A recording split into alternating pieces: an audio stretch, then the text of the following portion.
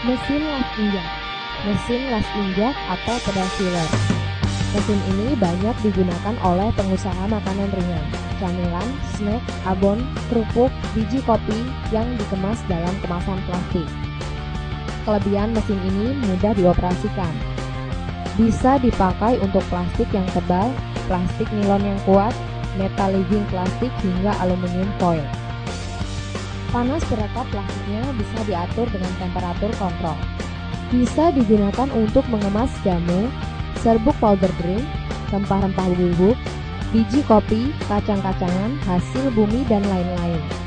Jika Anda ingin memiliki mesin ini untuk informasi lebih lanjut Anda bisa menghubungi kami di Tristar Machinery Jalan Rungkut Papan Utara CA24 Surabaya atau di nomor telepon 031 870 8071.